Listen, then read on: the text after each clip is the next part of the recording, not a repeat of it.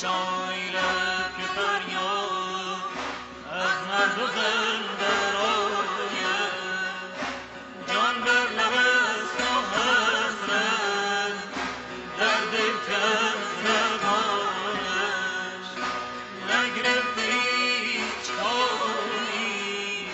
از زبانش